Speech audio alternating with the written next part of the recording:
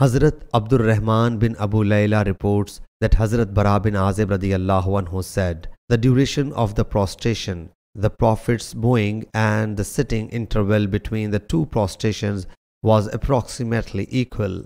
Sahih Bukhari, Hadith number 820.